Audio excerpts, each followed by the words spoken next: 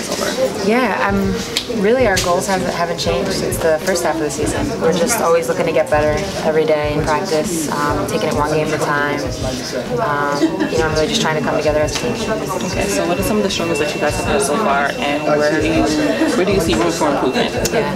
Well, I mean, it's it's no secret that you know we're really young and, and very inexperienced. Um, so we're really just trying to learn on the fly.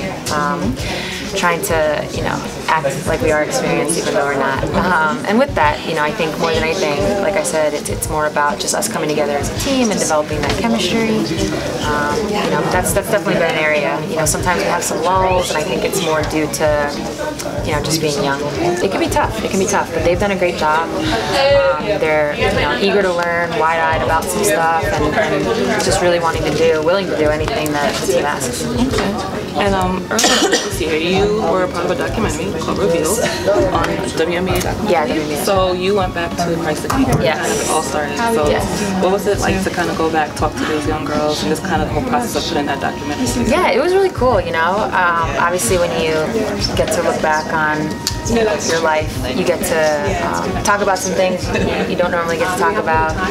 You definitely get to go down memory lane a little bit, reminisce, um, especially because it was at Christ the King. I got to see some coaches and some people that I hadn't seen in a really long time, and I also got to talk to the team. So it was just really cool to, to kind of, um, like I said, reminisce and just kind of go through it step by step, year by year. And uh, I enjoyed it. It was a lot of fun. And we have something in common.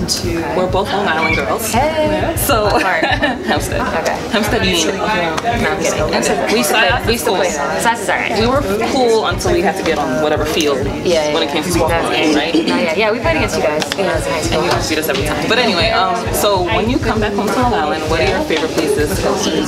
Shop? man. Like, I don't know how often you get back. Yeah, I don't, I don't really get back that much. Um, but in Syosset, um, I always go to the bagel store down the street, which is called Bagel Master. Shop right there. Um, by far, in my opinion, I've traveled the world. I'm gonna hype this up a little bit. I've been in many, many countries, many, many cities. This bagel store has the best bagels in the world, without a doubt. So, Like, what's- what's the go-to everything, bagel? everything. everything. Every now since then, but strictly everything. Um, yeah, so that's the spot. I always go there. And then to be honest, otherwise, I mean, there's a Greek place I like to hit. Um, but my, I like my mom when she cooks. Yeah, I've never That's home cooking is like the best. How can you beat that? You can't go Yeah, wrong. so She knows it's, exactly what you like. and what you like yes, exactly. So thank you so much. Yeah, no problem. Great